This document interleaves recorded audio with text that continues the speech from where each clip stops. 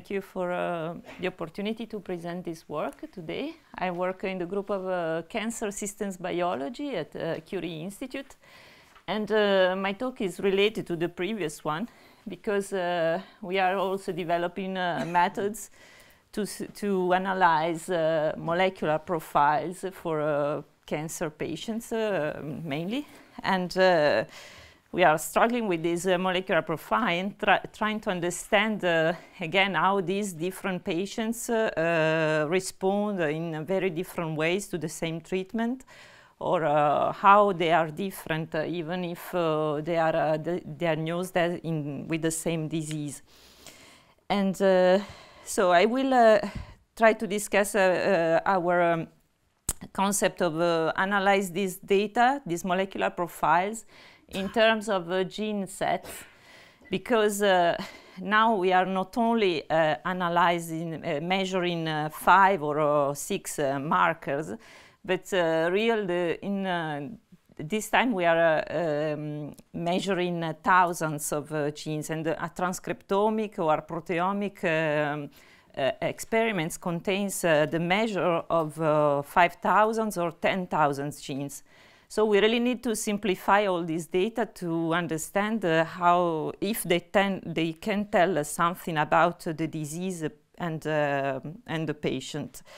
So um, this uh, concept of a gene set is becoming uh, more and more uh, popular in analyzing data, molecular profiles, because comparing different patients with the same disease uh, we are understanding more and more that uh, the same uh, patient and uh, the same pathway uh, can be affected in different uh, individuals in different ways, meaning that the same signaling can be affected uh, in one patient, maybe at the, at the membrane level.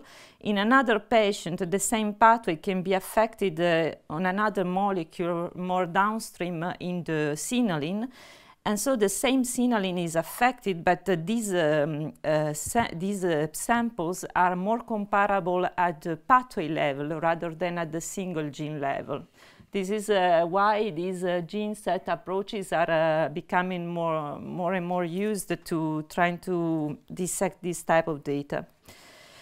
This was an example where we have uh, this uh, cohort of uh, colon, colorectal cancer patients, and we know from previous models and from previous analysis in, in um, in mouse models that the notch signaling is, is affected and uh, in, a, in a different way between invasive and non-invasive tumors.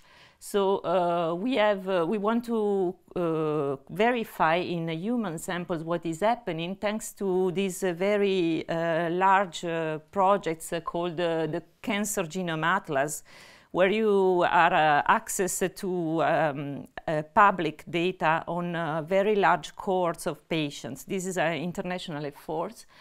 And um, uh, so we go to the uh, uh, data of colorectal cancer in this uh, very large cohort of hundreds of samples. And we uh, divide, uh, according to clinical data, our cohort in two groups, metastatic and non-metastatic, simply on the appearance of metastasis in these two, two groups and we check for uh, uh, expression of uh, genes involved in the notch signaling for these two groups. And we observe for many genes that are uh, known to be involved in notch syndrome is that there were no big uh, uh, difference at the single gene level. In, a, in so the culture in the in the cancer culture, they the cell from there, or it's healthy cells. They are uh, biopsies in this. Uh, yeah, exactly. This is uh, the cancer sample. Cancer right. Okay. And uh, so again, at the single gene of notch signaling, we were not able to detect any difference in this, uh, in this uh, signaling. So we try to, to develop a method that can catch, uh, catch uh, information at the gene set level to understand how notch signaling is active or inactive in each sample. And uh, uh, the, the idea of gene set needs that we need to define some groups of genes that uh, are considered to be um, to have a coordinated um, coordinated expression. So these can be, for instance, targets of uh, common transcription factors, for instance, some uh, downstream targets, or uh, genes that are involved in the same signaling process. So there are many different ways we can define uh, these uh, sets. And then as, soo as, soon as we define these sets now, we can um, quantify the activity of the whole set. And uh, again, uh, this, uh, there is also another big assumption in our method that is based on the uni unifactor linear model, meaning that we, but of course this can be uh, exp um, expanded and uh, developed in a more complicated way, but the, the, the, first uh, approximation in our uh, model is that uh, the genes uh, in the same set of genes are under the, the influence of a one main uh, big fa uh, main factor that can be an oncogene oncogenic event or can be a drug perturbation, but we need to, to do this assumption.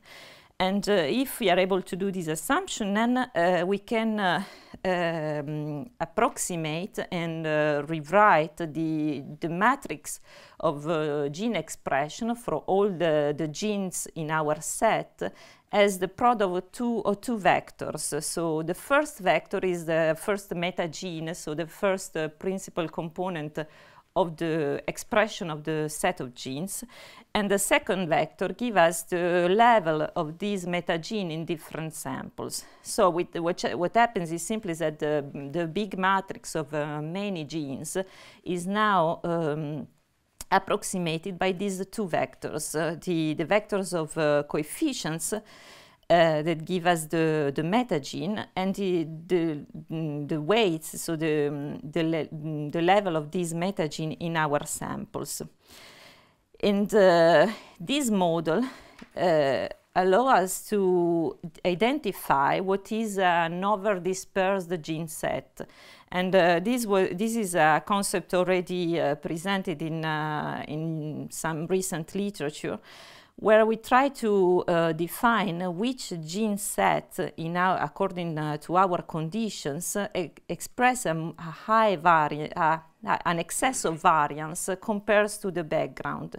So meaning that uh, if we test many different gene sets on our data, there are some that uh, show high variability compared to the a background uh, a, a, random gene set. And so we consider that these sets are particularly active or inactive in our conditions.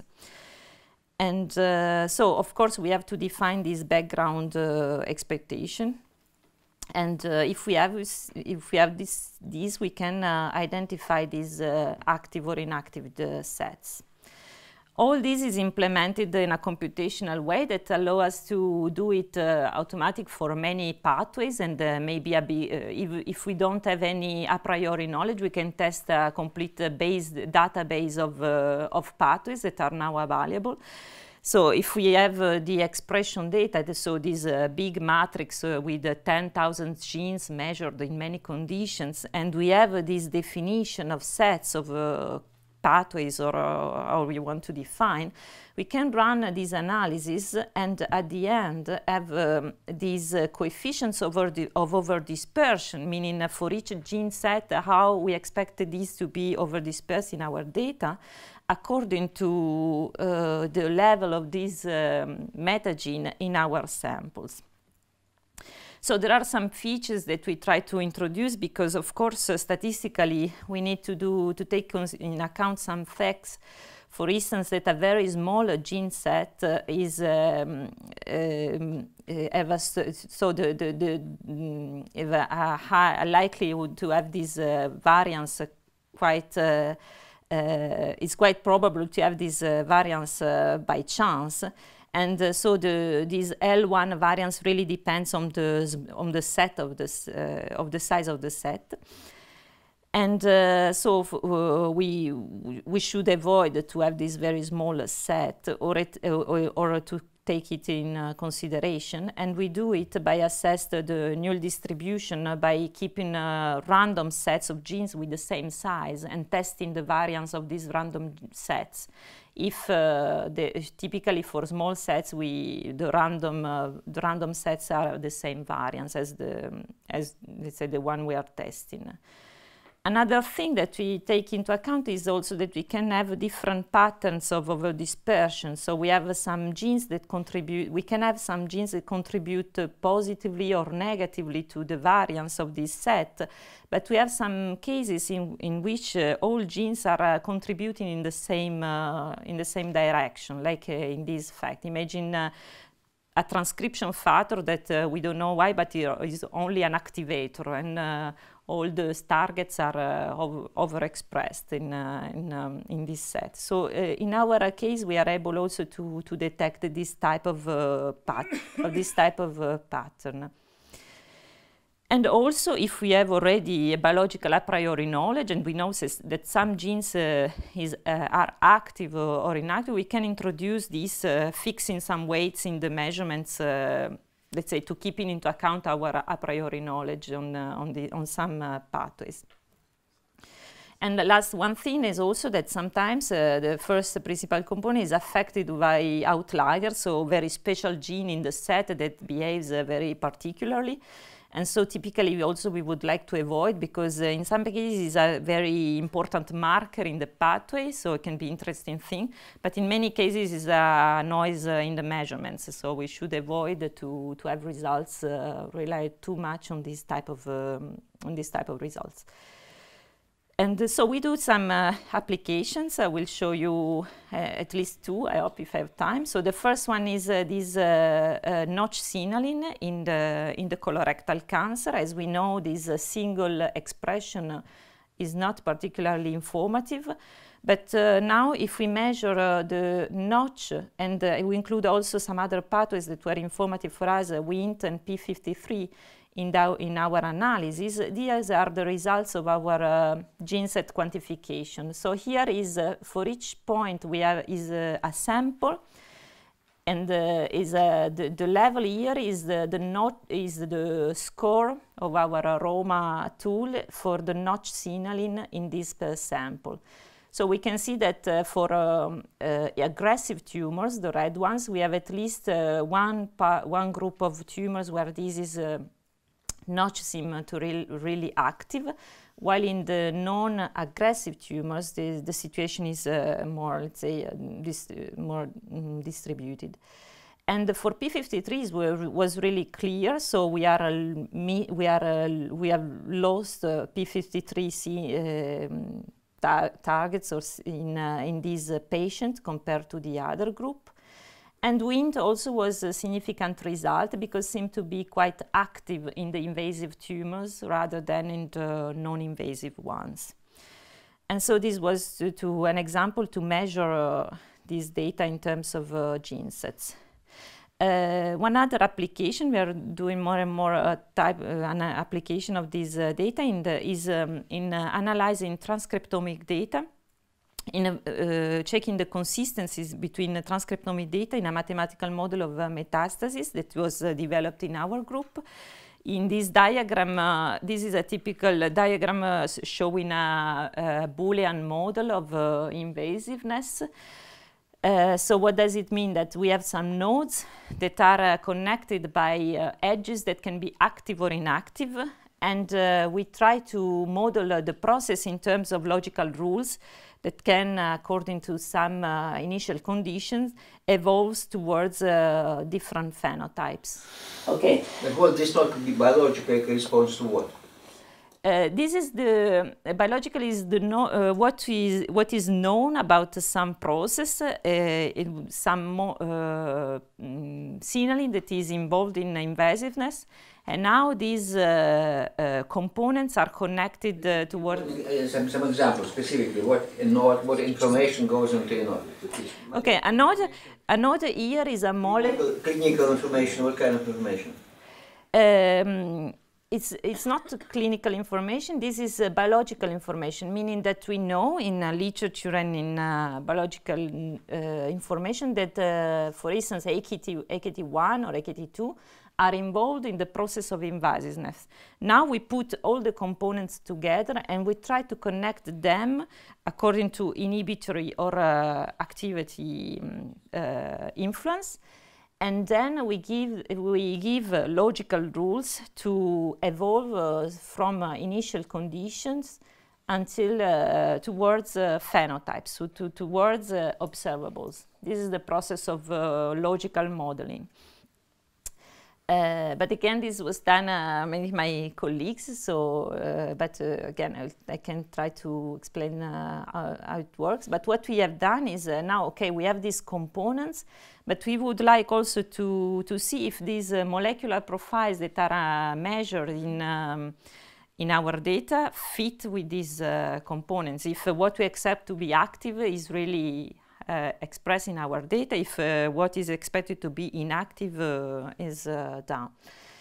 And uh, if we do again by um, gene by gene, we don't see this uh, big difference. So again, we try to uh, connect to each node in this model a set of genes instead one single one. This is meaning that for TGF beta, for instance, we try to measure the level of to by ROMA the TGF beta targets, and uh, the same for uh, the other components of the of the um, of the network. And this seems to be uh, to give a more consistent result, meaning that uh, again some uh, things that are uh, expected to be inactive in the non-metastatic group becomes active in the metastatic one, etc. And this again was not possible to observe at the individual gene level. And I have five more minutes to present the final. Uh, well, okay, let's uh, skip the third uh, um, example, but again, all these tools are, are valuable if can be of interest for other type of applications. And this is the working group in, that are collaborating to this project. Uh, many of them on the cancer systems biology group, and uh, Rick Bonnet now is in um, cancer, uh, uh, cancer pole. And uh, that's it. Thank you. Thanks a lot.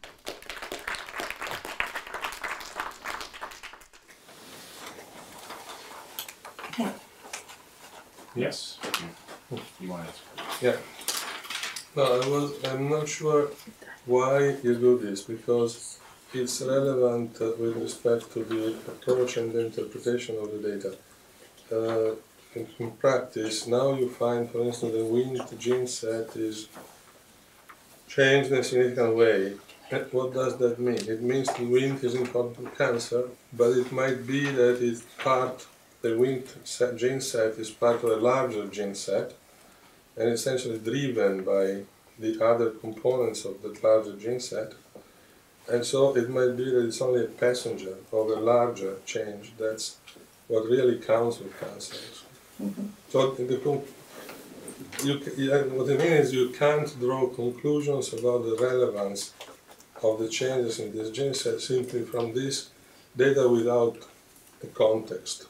Yeah, the, the assumption, as I said, is this uh, unifactor model, and uh, as soon as you apply these methods to a cancer uh, data set, you assume that the main uh, driver, ev driver event is an oncogenic event. So this is what really gives the data uh, the variance. So, of course, if you analyze, uh, if you think that main, the, the main factor driving the variance of your data is someone else, so uh, you, uh, conclusions about the cancer process are, uh, of course, uh, discussed. What is the predictive level of your data? So how much you can predict actually from uh, from, from your data, from molecular data, to predict the development of cancer? What is the efficiency of the method? Everything else is just who cares? This is the only thing you want to get at. Yeah, now th this is a, a step, um, let's say a big step is uh, that we are able to discriminate between uh, different risk groups in our in our patients, and so is um, the, the, aim, the big aim is now to uh, be able to predict how um, uh, how some uh, how some tumors will be more um, aggressive than other ones. In some projects, we are now able to at least identify clearly different groups that were not identified before. So this is, at least is a first step because now we are able to discriminate these uh, kind of clusters of some of uh, patients that were not identified before. But they only identifiable by by by by, by molecular data, not by their clinical behavior. Is this uh, relation indeed in you look? Um, not complete because uh, uh, then when uh, you analyze some, for instance, you go inside some markers and now you are able to see that really these markers, this signaling is uh, indeed different between uh, the groups that were not identified before. So you are putting evidence some components of the, pro the, the process that were not identified before. Okay.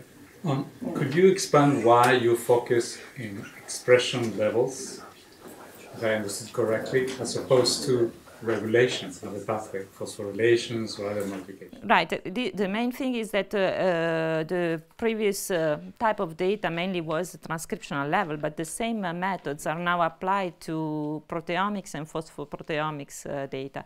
The fact is. The fact is that uh, transcriptomic level was the first one where we were able to uh, to measure thousands of, uh, so uh, to have these genome-wide uh, experiments. But now, the, for cancer patients, it's become reality also to have the proteomic level, and so we are uh, soon more and more applying to other level of uh, molecular. My question is, I mean, there are marginal differences on the expression levels, right? But if you would go for regulation, you actually tested it already? which type of regulation? For instance, in phospho phosphoproteomics uh, data, what we are able to identify uh, to analyze sets of substrate for a, for a certain kinase, we are able to identify some kinases that are active or inactive in some genes, in some samples. So still was we were able to analyze these data and interpret them in terms of active or inactive kinase or phosphatase. So those are stronger predictors? Uh, in um, uh, again, the, the, the fact is uh, we, we are able to clearly identify different uh, um, different groups that behaves differently in the phosphoproteomic analysis. How we are predicting is uh, not, we are not yet, uh, we, we, we, are not able now to, to say how, predict, how good is uh, in predict because we know we should have kind of patients were uh, uh, were, were uh, with a certain follow-up, etc. It's a bit, it's a, we are not yet mm, able to do predi predictive models but we are able to at least identify groups of, uh, of, of, different patients. Yeah, so, sorry. Ah. Can I say something? You, you must say something. I must. so I just want to say that to defend the uh, Roma and Lavender, these are programs that they develop. I understand. I'm not a bioinformatics person. They develop for the use of our community. They're trying to talk to us, and it will be used. Always go to Roma Yes, I mean, mm-hmm. so there will be other ways that you can use Roma. That's what you're going to say, yes? Right, yeah. And I wanted to say the goal is not to understand biological processes, but to probably do some diagnostic or, or prediction. So that's why she's trying to get as, as much separation between the groups so that it will be predictive of metastasis or something. Okay. Okay, thank you very Yeah, much for you. great presentation.